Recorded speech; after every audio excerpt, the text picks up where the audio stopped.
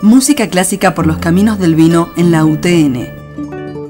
En el marco de la 17 edición del Festival Provincial se presentará el cuarteto de guitarras secos, integrado por Miguel Ángel Doto, Adrián de Rosa, Fernando Stern y Adrián Bassi.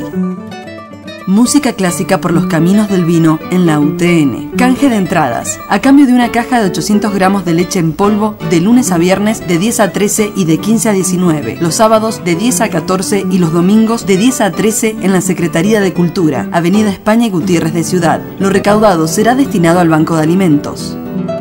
Música clásica por los caminos del vino en la UTN. Miércoles 12 de abril, 21 horas. UTN Facultad Regional Mendoza. Rodríguez 273 de Ciudad.